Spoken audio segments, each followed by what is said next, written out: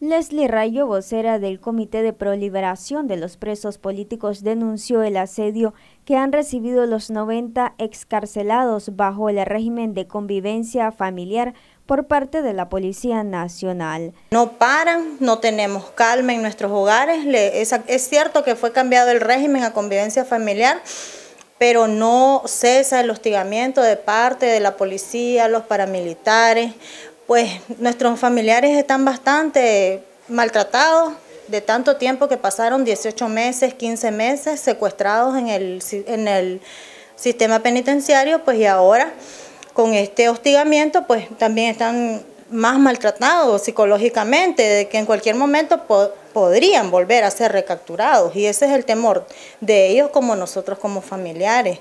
No pueden salir a la venta, no pueden salir al mercado, porque el miedo es que vuelvan a agarrarlos con delitos comunes que ellos dicen, porque la mayoría de nuestros escarcelados fueron por robo agravado, robo común o droga. Entonces ese es nuestro temor y pues pedimos que sean conscientes ellos tienen familia, queremos una paz, tranquilidad, pues, y que ellos están en sus casas, no están haciendo nada malo, están en convivencia con su familia.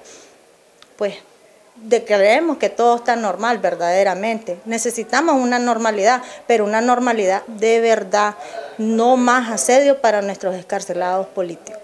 Rayo dijo que los jóvenes no se pueden integrar a la sociedad por temor a ser recapturados. Ellos no pueden trabajar porque tienen su récord manchado, ellos no pueden salir porque si llegan los jefes de sector o, están los paramilitares o cualquier CPC que se presenten de los barrios y ya van, pueden decir que los muchachos fueron a robar o que están o salieron en la esquina a vender droga, se nos presenta esa problemática y entonces son 90 jóvenes pues que necesitamos que nos den un poco de paz porque la mayoría que salió son jóvenes.